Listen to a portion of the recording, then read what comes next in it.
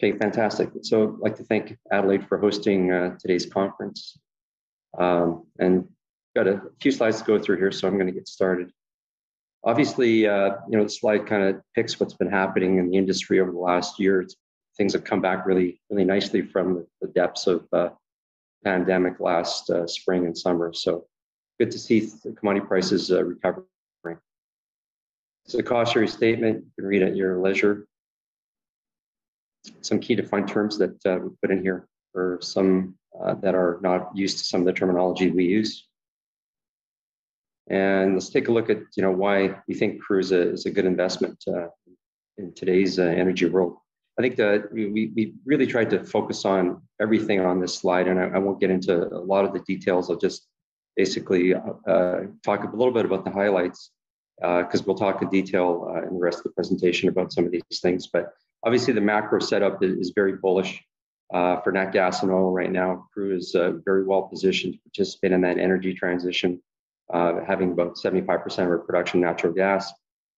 The uh, also when you when you look at Crew as uh, from where we were to where we are today, we were just over 21,000 barrels a day in Q4 as an average. Now Q1 we were 26, so you know that represents over 20% growth. Um, and if you take a look at our, our cash flow this year, we're, we should be uh, probably increasing it by over 180%. So that that is uh, obviously a, a, function of increased production, lower costs, and more importantly, higher uh, commodity prices.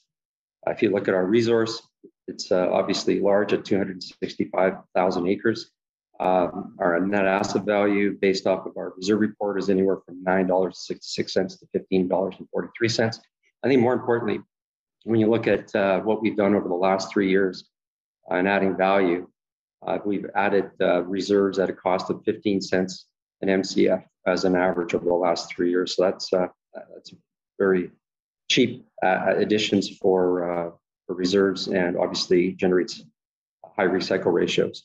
Market access, we, we do have access to to the to the three U.S. gas and pipelines, in addition to future LNG access. The optionality, we do have to sell down assets. Again, we have a $37.5 million option to sell down 11.43% uh, of our, of our uh, infrastructure, uh, meaning two gas plants. Uh, liquidity is looking good. Uh, we've got lots of liquidity, $150 million bank line, and about $75 million in debt working capital in quarter. So uh, lots of liquidity there. Our commitment to ESG, I'll speak to in, in, a bit of detail at the end. And obviously, we're aligned with our shareholders and bondholders, uh, and the fact that uh, the top, in the top 65% uh, of the of the top 20 shareholders are, are, insiders, meaning 13 of the top 20 are insiders. So, and we have been buying uh, a lot of stock over the last uh, year. Here's some Q1 highlights. Um, and again, you know, if you take a look at this, I think it's uh, it really depicts where we started the year uh, and in, at the end of Q4 as well, where we were able to uh, essentially uh, drill a number of wells, uh, seven wells in particular in the 9 to 5 pad that uh, that averaged uh, you know over 5,000 barrels a day for, for quite some time.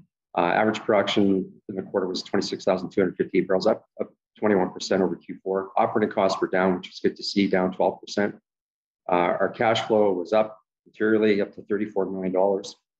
As you can see at the bottom of the screen, it's, uh, it's up from 15.6 in Q4 and steadily increased from, from last year. Again, a function of higher production, but more importantly, commodity prices have come back. Uh, we did spend $50 million, which is a little bit less than we expected to spend in the quarter, uh, drilling 11 wells and completing uh, six over that period of time. And you can see operating costs definitely going in the right direction uh, down.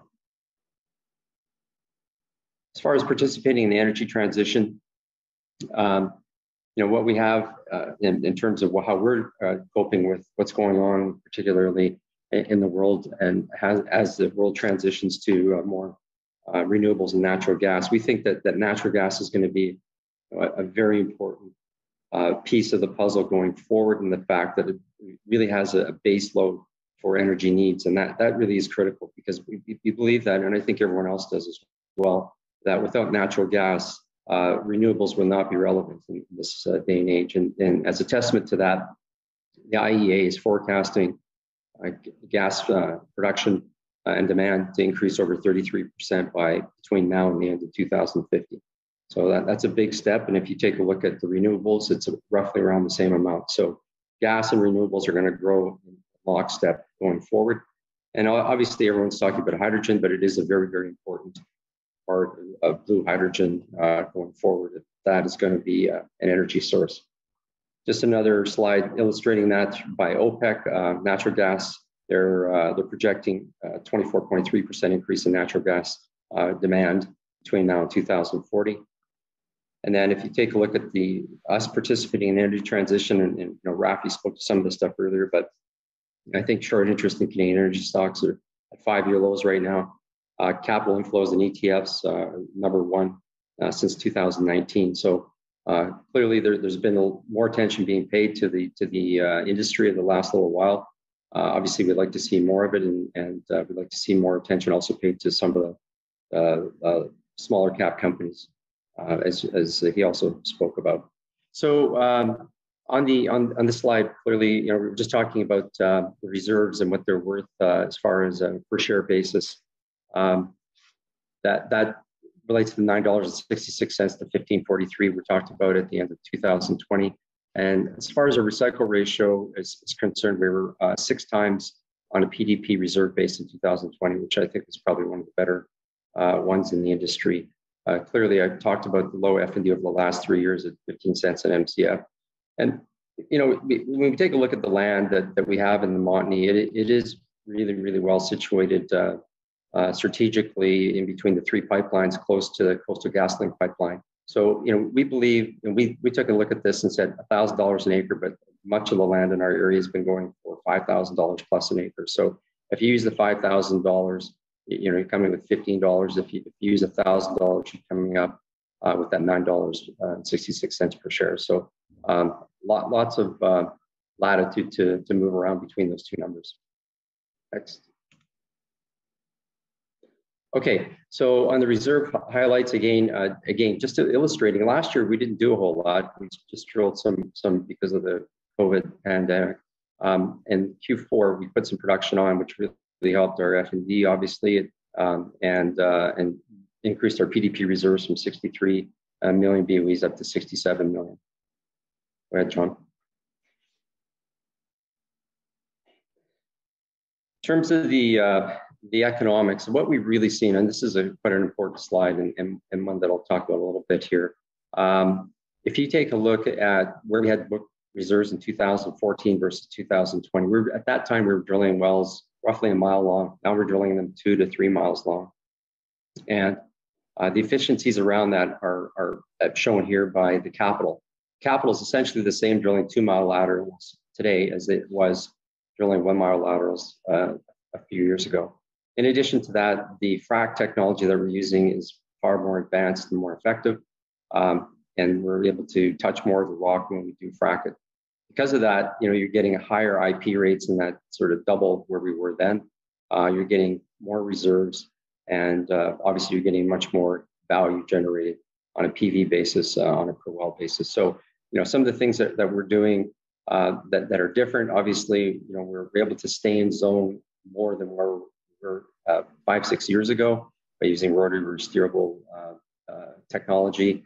In addition to the fact that we are able to frac these wells more intensely using more sand at less cost just because of the efficiencies around timing of the fracs. Next. That nine to five pad we put on in December, it's about 68% paid out uh, at the moment. So just, and obviously a benefit from fairly robust gas prices in, in February. But, um, and you'll note that we did have a high uh, gas price in Q1 at over $5, $5.54 an MCF, which I think is probably one of the highest I've seen uh, to date. Uh, in terms of infrastructure, um, are, it supports about 100% production growth uh, in our in our uh, production over the next uh, well anywhere from uh, two to, to four or five years. We've got a 4,000, 40,000 BOEs of capacity, and we want to grow from about 22,000 in 2020 up to around 32,000 average in 2022, which constitutes about a 45% uh, growth rate. Growth rate. Next. Okay, in terms of um, in margins, you can see here that uh, we have been steadily improving our margins, and you saw that in one of the first slides when we showed that uh, our operating costs in um, in 2000 or in first quarter were down 465 a BOE. Um, we are when we take a look at this, that includes the operating costs, which are going to come down around 25%, transportation around 30, G&A 15, and interest around 25. And I think it is important to note that we are shedding around $9 million of annual transportation uh, fees uh, this year, at the end of this year. Next. Take a look at the production growth. Again, um, you know, we, we $41 million last year. We're suggesting, based off of pricing today and production, that we're forecasting 115 million this year and around 150 million next year. Um, there's the sensitivities on the right to, to gas and and uh, cash flow.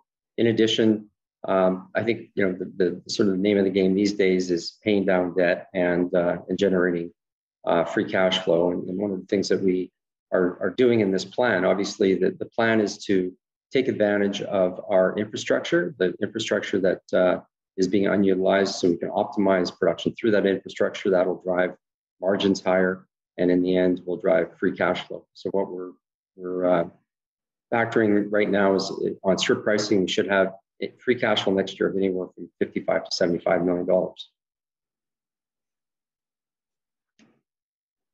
You know, here's our here's our uh, hedge book, and and again, um, I, think one of the things that that you know I can say is that we were very fortunate in the first quarter to be exposed to some of the markets that we have been exposed to, particularly the Chicago market. Uh, what we have seen in the last uh, couple of years now, we've been in that market for about six years now. I think about four and a half of those years were pretty good.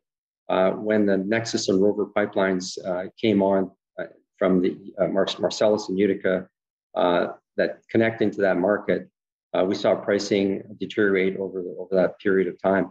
And you know, for the exception of that one February cold weather, prices have really been down quite a bit in that market. So as a result of that, we, we've kind of uh, pivoted away from from that market, and you'll see here that uh, AECO is going to be the, the, the bigger market for us here in the foreseeable future. But we do have the optionality to get back in some of these markets down the road. We're about 55% hedged for our gas production this year at uh, uh, 308 an MCF, and about 35% next year at 305 uh, MCF. And again, this is all part of the two-year plan to to ensure that we have the cash flow to execute that plan by doing some uh, active hedging.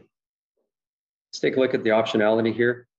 Now, many of you know that you know we've, we've bought and sold many properties over the course of, of time. Um, we, we've uh, we've raised uh, over seven hundred million dollars uh, by selling properties over the since since 2010, and we, do have an option to sell another piece of our gas facilities at about an 11 times multiple um, for uh, $37.5 million that we have not exercised to date, but that option is available to us until June uh, 30th, 2023. On the liquidity side, we do have plenty of liquidity as I discussed uh, earlier.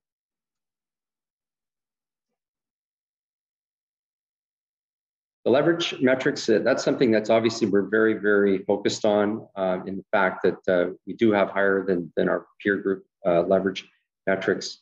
Uh, and one of the reasons we're we undertook this program is to get us back on, on side with that. So you can take a look, we're at five and a half times debt to cash flow or EBITDA uh, to, to, to, cash flow or net debt to EBITDA, sorry, in last year. We expect to be net debt to EBITDA uh, anywhere between 1.7 and 2.3 now in, in Q4 22. And that, that's changed from about two to two and a half times we had in here in the last presentation based off of um, higher commodity prices. So definitely the leverage metrics are, are getting into a place where we're happy. I think at the end of the day, we'd, we'd be happier in that one times or under.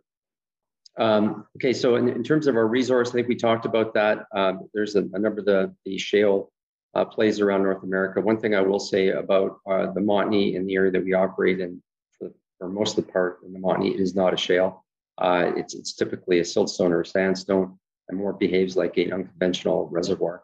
Um, so when, when we do see lower declines out in longer life in the wells, uh, they don't sort of go straight down in terms of declining. They, they level out at, at uh, a certain decline rate. And right now, you know, wells we haven't drilled in Septimus for about four or five years, we've got an 11% decline rate there. So you can see here our declines are in that 28% range. Usually in the shale basins in the U.S. are around 50%.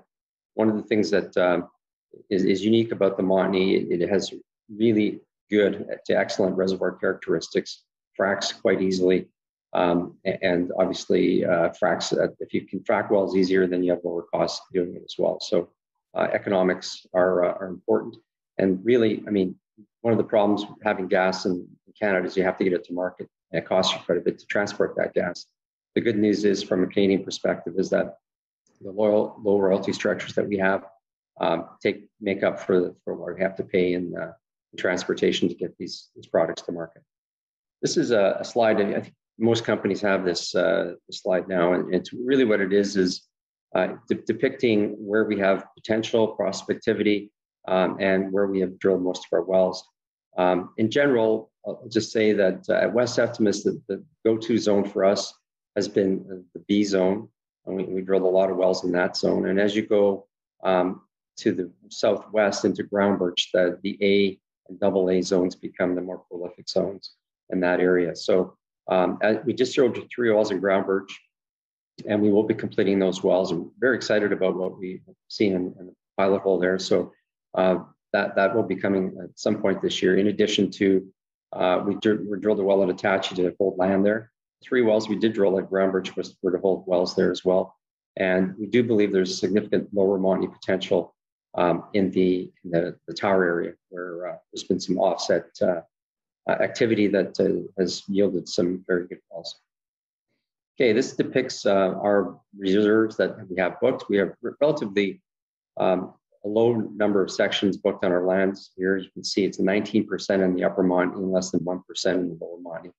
Uh, really just illustrating uh, lots more potential to, to and Tower especially uh, now that we there's a lot more activity around there, drilling wells in the lower Montney and in the upper Montney that uh, we, we, can access. So that for now, the, the, the, the focus of our uh, drilling efforts has been closer to our infrastructure, which is in West Septimus. Okay, this is uh, West Septimus. You can see there's a number of wells on here. I'll just focus on a few of them. The 9 to 5 pad is the one that we put on at the end of uh, 2020. And that pad uh, has performed exceptionally well. It's a 68% paid out uh, right now, and we expect about a seven month payout on that on that pad. Um, next is the one of eight pad that we've drilled and will be completed uh, this year. And then we have uh, also completed the 332 pad where we have uh, gas condensate, higher condensate rates, just, just under 500 barrels a day average per well for the first uh, 30 days. So happy with those condensate rates. Um, and then also the 414 pad, which is uh, a nine well pad that we have uh, currently. We had drilled two wells on that pad uh, in April, and then we'll uh, put the rig down until probably late June, and then start the rig back up again to finish the other seven. So lots of activity going on here. Right now, we have about 10 DUCs that we have in Q1, and then we drilled two more in Q2. So about 12 DUCs available to us at the moment. Next.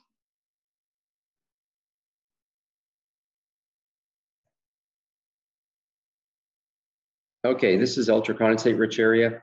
Uh, again, just a blow up of uh, that slide that we just saw uh, below. I think really what we want to focus on here is the fact that um, just on 17 and a half sections of land, we have an NPV uh, in our reserve book of $609 million. And many of you know that, that that's uh, under our enterprise value today. So I think, again, a great uh, proposition here for value and the exceptional wells to date as well see on the right, we're expecting uh, payouts in that seven month range again on, on these wells uh, when you t- take a look at uh, the prices that we're seeing today. Next. Septimus. Uh, okay, we have not drilled wells in here in a number of years, and you can see on the on the uh, bar chart on the left, uh, there's capex and then cash flow. so you know the big big year we, we drilled a number of wells was was in 2014. clearly, that was a while ago. And then ever since 2016, that asset has produced free cash flow to the tune of about $150 million. I think the other thing that uh, is is, indirect on this uh, slide is if you look at the gas price that we achieved uh, through that period of time uh, versus uh, versus AECO. So you can see the AECO price in blue, and then that's the average price for the year, and then our price that we achieved in, in the pink. Um, clearly, after 2015, our marketing efforts were, were rewarded by going to Chicago. In 2020, that, that reversed, where AECO was a better market than Chicago was. And as I pointed out too, um, it, it's really because of the Nexus and Rover pipelines accessing that market and, and providing more competition. Uh, of key here importance is once these wells um, have stabilized and and you know they don't have any offset uh, fracking or you're putting new wells on that have 60% declines, you're looking at 11% decline on this asset at the moment, which is more like a conventional reservoir. Next.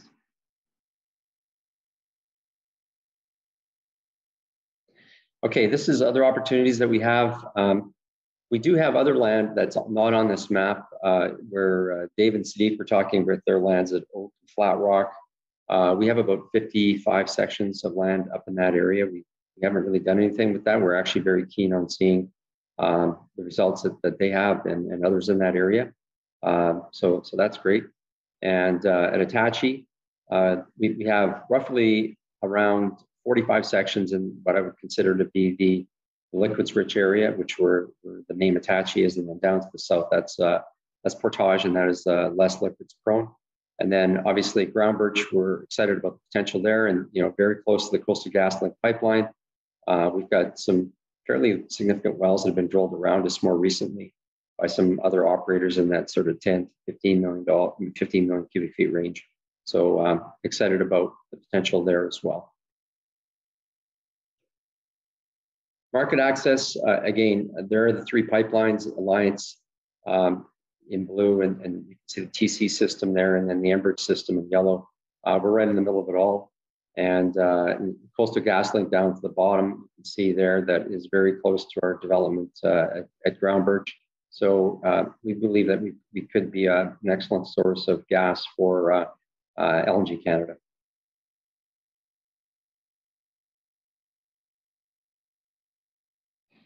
Okay, in terms of, of uh, sustainability and, and um, ESG, uh, we are very focused on, on this, obviously. I mean, it is something that we um, and the industry is, is really focused on. And obviously, you all, you all know how Canada fits in the world. We're in the top three um, in terms of our ESG scores. In addition, that we are coming out with our inaugural ESG report uh, this summer, so we're excited about that uh, as well. Uh, next, John. Okay, uh, again, freshwater use and hydro hydraulic fracturing is way down for us. It's down 91%. Uh, now only what 4% in 2019. We're just getting our 2020 numbers uh, together now. Um, and gas plant flaring, you can see, is down 71%. Uh, spills are down materially as well. Uh, we're, we're, using um, a lot more uh, natural gas for running the frac crews as well. So we're, we're saving uh, on emissions on that uh, forward going forward. And we're also looking at electric as another source. And one of the things that we we were, I think, the first in Canada to do um, was we used a, a, spoolable pipeline to transport water during frac operations for uh, two pads, uh, the, the 9 to 5 pad and the 332 pad. And if you were to take a look at the number of truckloads we, we saved, it was over 7,300 7, uh, two-way truckloads that uh, didn't happen uh, because we put this pipeline in place. In addition, that would equal to about four times the circumference of the, of the globe. So in terms of truck travel, just for fracking uh, one of those wells. So very, very uh, progressive.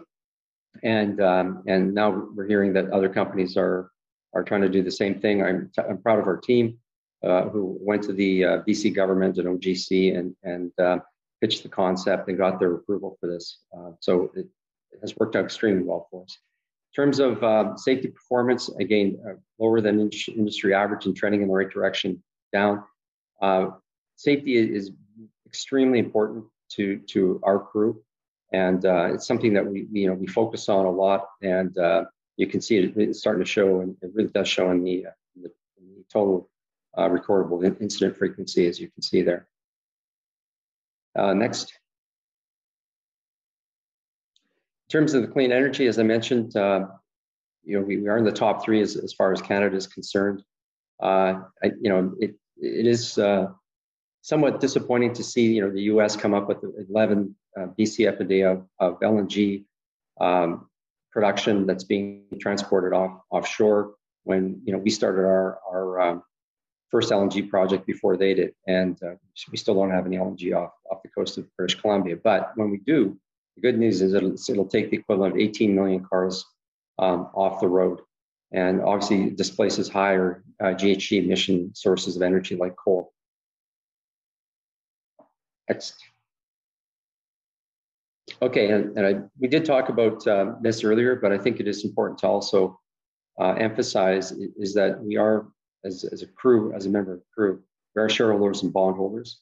Um, we, we, do engage with our shareholders quite regularly. Unfortunately, um, you know, with, with, the pandemic, we haven't been out as much and actually at all. We've been doing more of these types of, uh, of conferences and one-on-ones on online. Uh, but definitely, we, we are um, uh, poised to, get going once the, once the pandemic pandemic is over, and um, can't wait to get on to see our shareholder base. Uh, one of the things that we have done uh, more recently, we, added a, another uh, person to our board, uh, Gail Hannon. Now takes us to about 36% uh, female representation on our board, and we do have a, a board refresh with David Smith retiring this year and Gail coming on board. So that's our average board tenure is about 10.2 years. Uh, highlights again, uh, I won't really get into them. It's basically on the same uh, same as we, we talked about on, uh, the beginning of the presentation. But what I think we can offer shareholders is growth and value at a very, very reasonable price uh, since we're trading in the dollar range and have an asset value over $9 and uh, growing over 20% in terms of production and, and over 150% in terms of cash flow this year. So um, we are looking forward to completing our two-year program and getting our balance sheet in, in, shape so that we are in that sort of 1.7 to 2.3 times uh, debt to EBITDA, and uh, look forward to executing on this program. That I'll take uh, John and I will take questions. Okay, yeah, thanks. Thanks for the presentation. So, congratulations on the quarter. It looked very strong. And it seems like your deleveraging plan is off to a very strong start. I know Rafi mentioned it at the beginning of the presentation, but just looking at the sheer opportunity in owning crew right now, I think he had it at around 500% as you guys, you know, deleverage, increase the margins in your business. And then you guys have this favorable commodity backdrop behind you. It seems to me people could do quite well in your stock these days. so I guess I guess my question is, you know, after this two-year plan, you know, what does crew look like on the other side of it?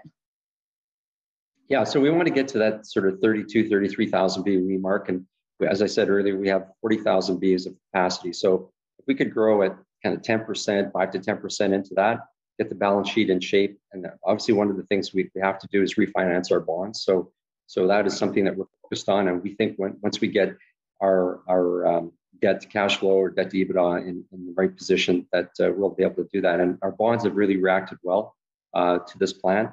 Uh, and the fact that uh, they're up about 45%. We were trading in the 60s. Now we're about 93 this week. So uh, definitely going in the right direction and, and getting in the, in the direction that we would be able to refinance at some point in time.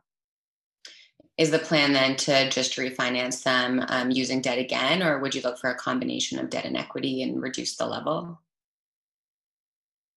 Yeah, I think, well, one of the things we're sensitive to, to is dilution, obviously. I mean, if we saw a material increase in our, in our share price where, you know, we, we thought it was, it was at a level that reflected reasonable value for the company, we, we would definitely entertain that. But uh, we are, we have no, uh, no reason to issue equity uh, this in this market at this point in time. We're more focused on, on the debt and how we can finance that.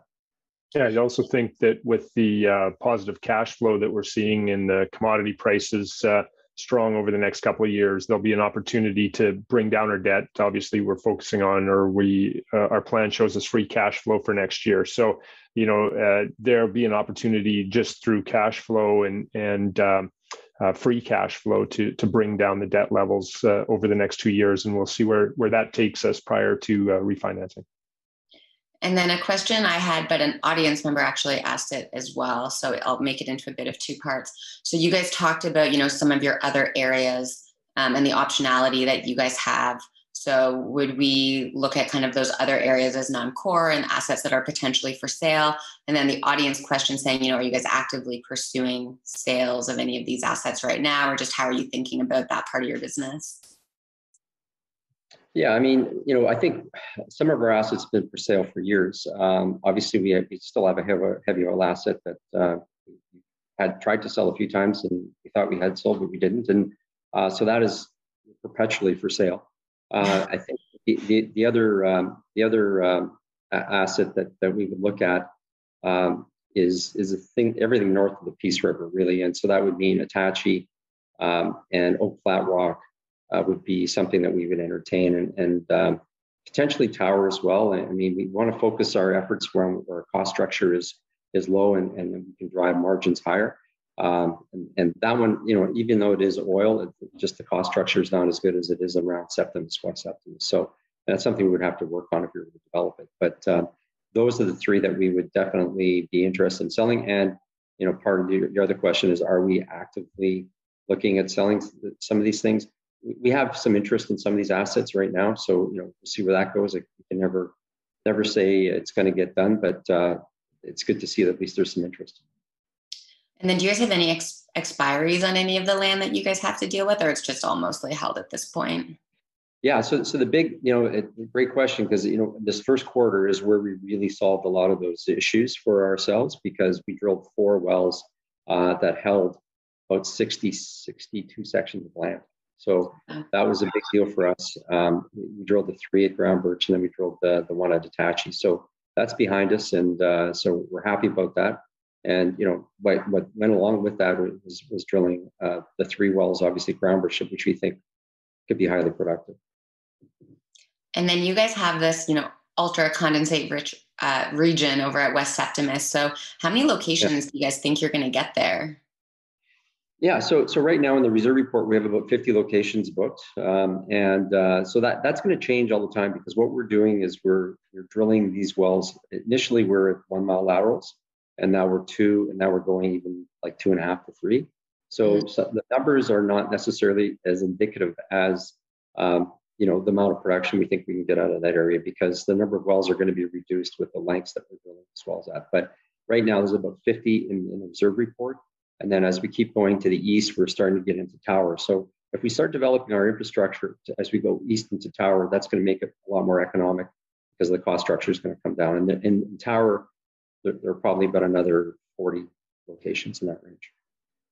I saw with the quarter that you guys had drilled some of the longest wells, um, two of the longest wells that you guys ever had in your company history. So, should we be expecting some more news around them next quarter once they're completed, or will they just blend yeah. in with everything else?